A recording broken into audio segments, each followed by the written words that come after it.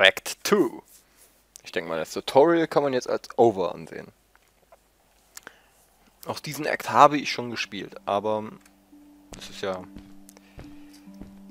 nicht ganz so wichtig. Ich frage mich tatsächlich, was mit dem blöden Onkel passiert ist. Und, ah ja.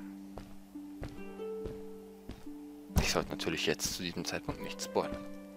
Böser, böser, böser Erwinas.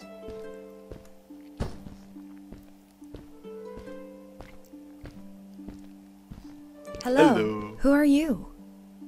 Elena. You're not from here. Oh. Wow. You look just like Fred, but smaller. And with less hair on your face. She knew Fred. I told her that he was my uncle and that I was looking for him. What's an uncle? I said that he was, She. that I had known him all my life. Woher weiß der Really? Junge das? Me too. I'll help you find him. Naja. I'm Madeline. The others call me Mad Maddie sometimes. I don't know why, really. But you can call me Maddie. Ich weiß auch nicht. You've never been to the village, right? Let's meet over there in the square. I'll show you around. I bet you can get there easily with your suit thing. So, I'll see you there. I couldn't believe it. Und wieder ist ein An underground village inhabited by frog people, or more like salamanders. Either way, they, they walked like humans, talked like humans. How is that possible?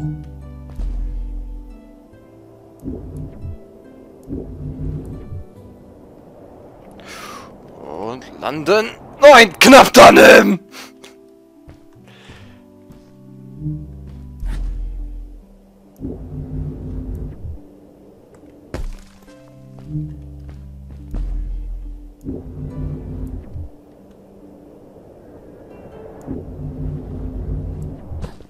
Ich habe den einen Stein einfach ignoriert.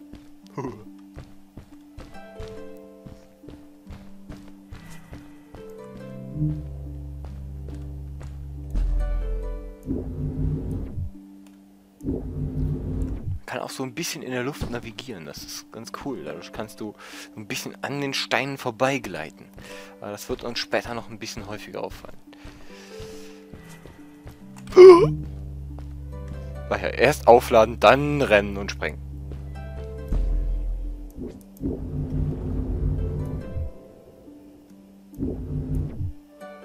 Tada! 10 Punkte Landung.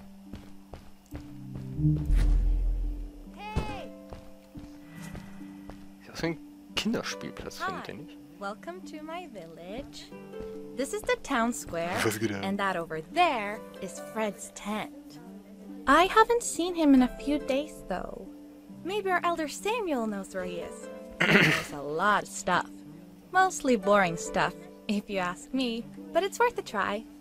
Before asking him, though, you should check out the village. It's not so bad, unless you have to stay for too long. When you're done, go to the island with the windmill, and you'll see Samuel's cove from there. I'll go on ahead and tell him that you're coming. He's not much for surprises. Later!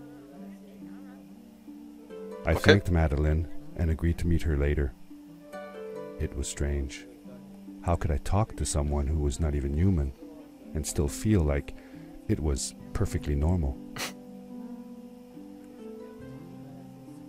Und vor allen Dingen, die steht ja immer noch hier. Ich dachte, die will dir Bescheid sagen gehen. Okay, tun wir mal so, als würde ich das Village nicht kennen. Okay.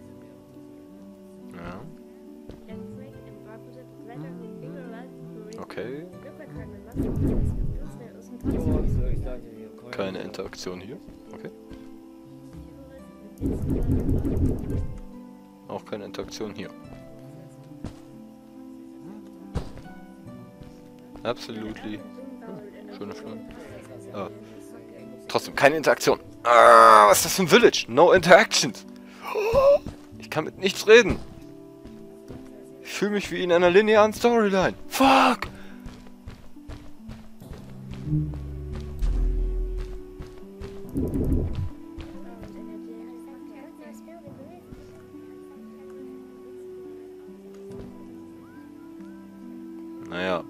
Kleine hier gehört aber nach Area 51. Ich meine, den hätte ich dort gesehen.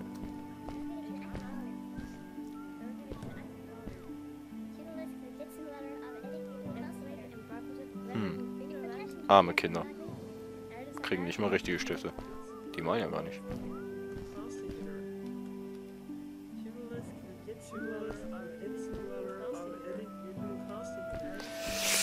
Ja, das schaut aus. Oh, aber Möhren werden ja angeboten. Was ist das? Was, was, was ist das? Ananas?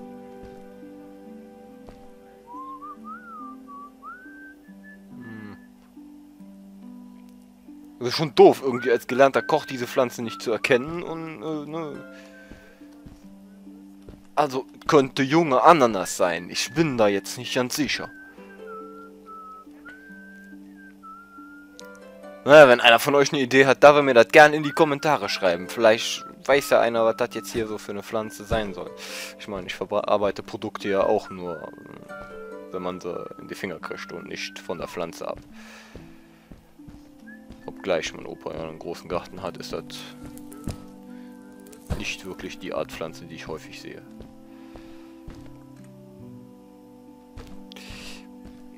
Okay, das sieht hoch aus, da will ich hoch. Das sieht geil aus, da möchte ich unbedingt hoch. Ich meine, okay, ich weiß, dass da oben was Geheimes ist, aber ich will da unbedingt hoch.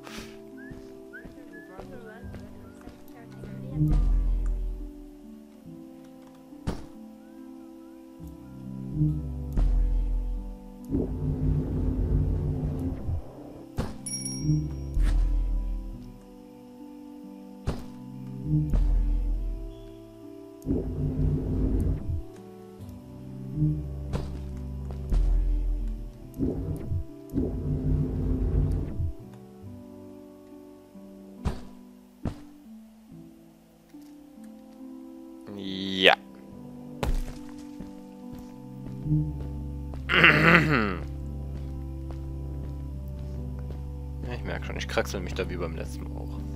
Anders geht aber nicht.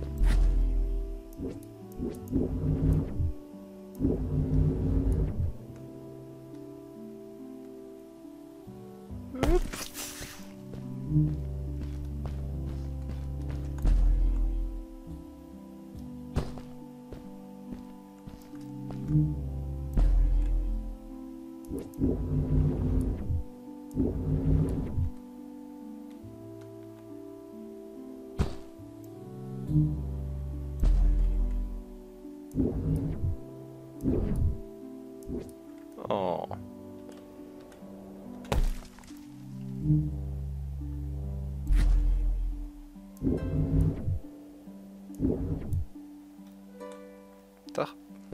So. Tatsächlich haben wir aber jetzt noch ein bis zwei Bases vor uns.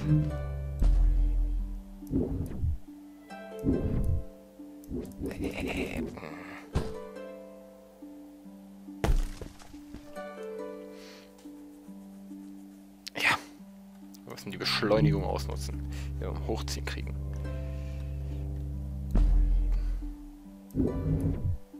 Was? Ah, an der Kanten hängen geblieben.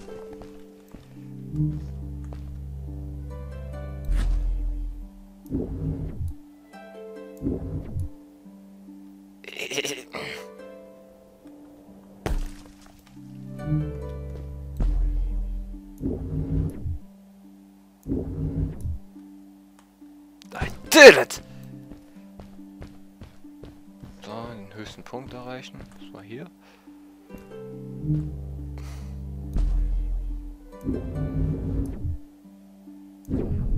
Leute, das ist das.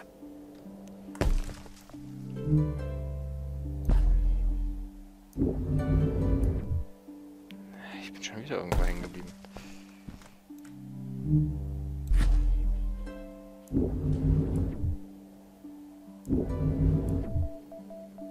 Hey, geil.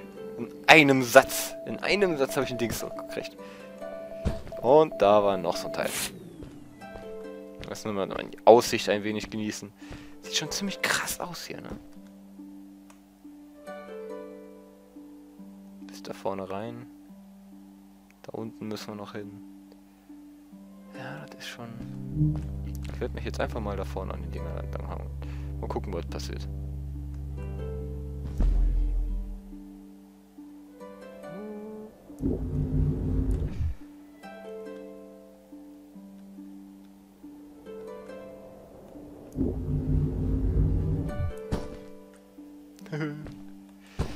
so, wir müssen noch da vorne erstmal.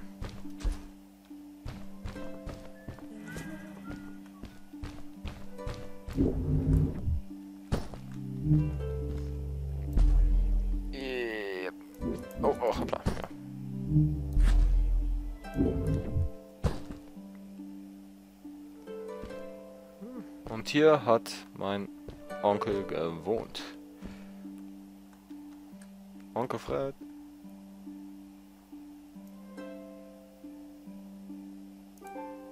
For how long had Fred been gone? I'm not sure. A couple of months, I think. Less than half a year for sure. I remembered hiking with him the summer before, but when I counted the days in his journals and from when I last saw him, it didn't make sense. Maddie said that she had known him all her life. Maybe she meant it figuratively. Figure. Like, she didn't really mean it. Like, when you say you'll die if you don't get a puppy for your birthday. That's true, though.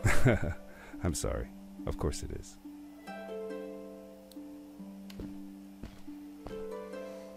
Hm.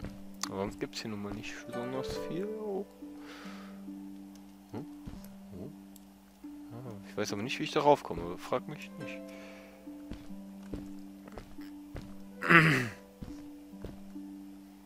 naja, ich habe keine andere Wahl als diesen da.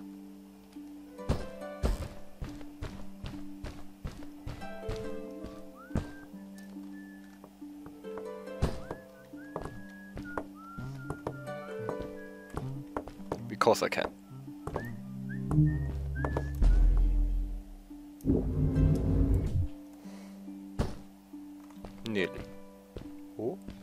Das wusste ich noch nicht. Das ist mir neu. Did Fred have any kids of his own? Nope. Not that I know of. He lived alone. He didn't really have any time for a family, I guess. He was always away or busy with his inventions. He could be gone for months at a time. I never knew how soon I would see him again. Don't you think he felt lonely then? I think he was too caught up in his projects to feel lonely. It seems like he found new friends in the village, though. Maddie seemed to be especially fond of him, taking after all that he did. Maybe Fred was like a father to her. She didn't have a real father, right? If she was born from an egg. That's right. That's another thing we had in common.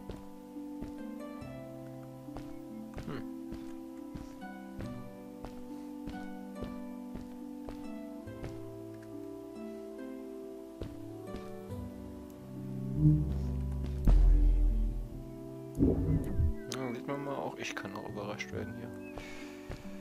So, dann machen wir uns mal auf den Weg.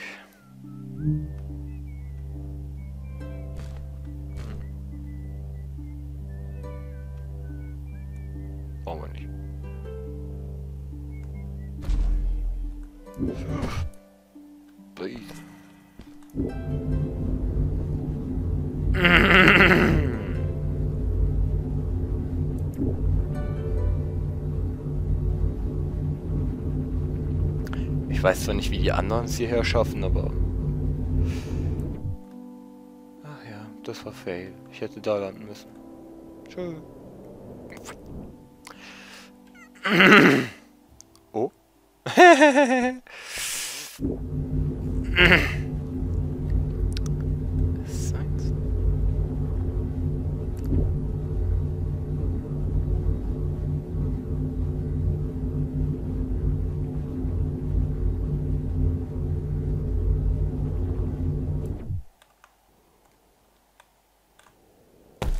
Puff. Hello.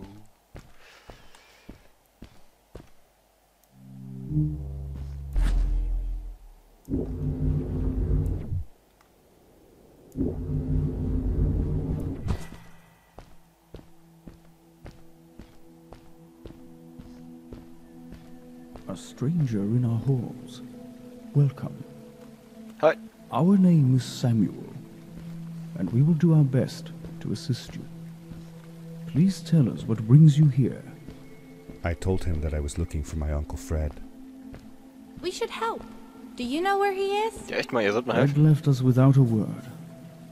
If you aspire to find him, we can share with you a sacred crystal, a power core. Oh, ja, gib ihn Fred mir. used their kind to power his suit. Ja, You can have it. thanks! Turn our Fred to us. The crystal? Sweet! Madeline, that was inappropriate. Moment, niemand sagt, Your ich würde help Fred will wieder not be necessary. The crystal is not for you to have. What? I want to help finding Fred. Why couldn't I? Please, Madeline, that is impossible. None of us may enter the chasms. It is too dangerous. What's the danger? If Fred can do it, so can I. I say this for your own protection, Madeline. You are forbidden from entering the chasms. Just because you're afraid of what's outside the village doesn't mean I am. I'm nothing like you. I'll never be. We apologize. It is true that we want to keep her safe, but she does not understand. Behind us is the power core. Take it and go into the chasms. Find Fred, and if you see Madeline, take care of her.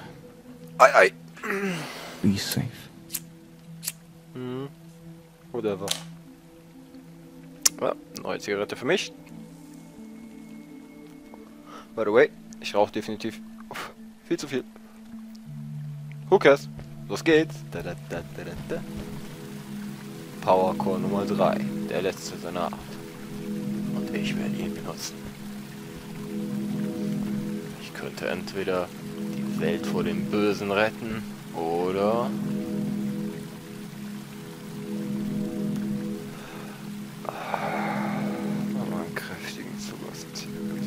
Oh.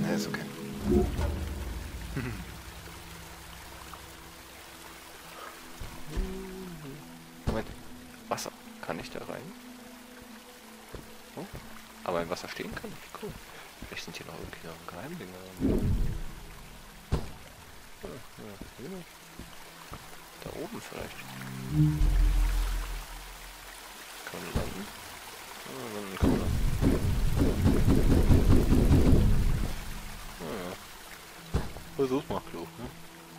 So genau hatte ich das dann erstmal natürlich nicht untersucht.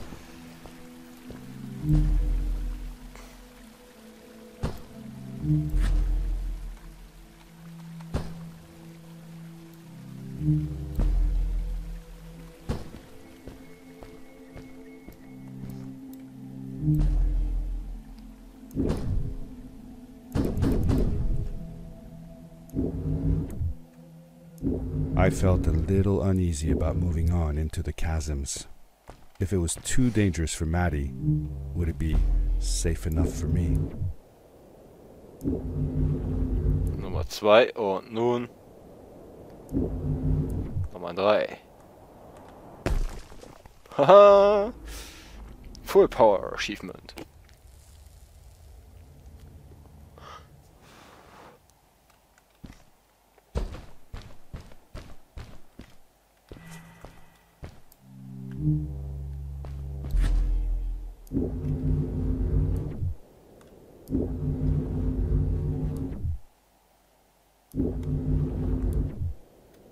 Puff. Das geht noch alles relativ easy. Ups, und zack. Hört ihr das? Ah.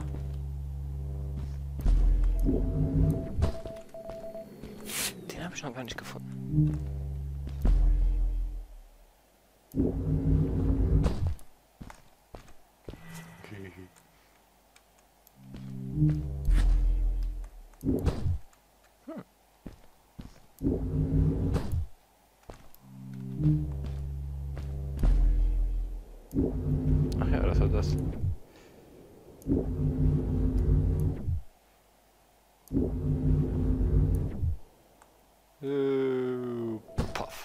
ist auch wieder einer.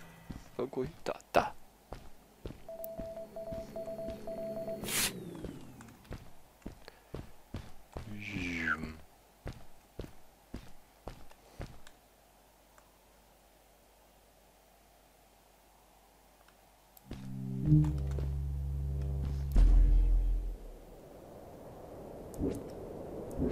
Vielleicht hätte ich den dazu erst angrapschen sollen.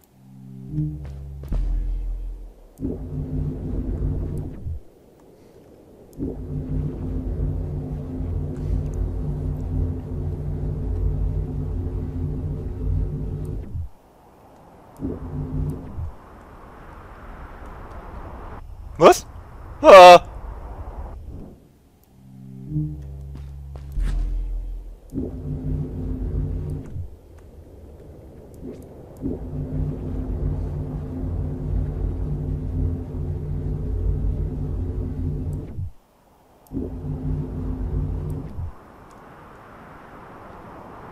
Geschafft. Darkness swept over me as I left the glittering lights in the village behind me and headed for the ominous shadows of the chasms.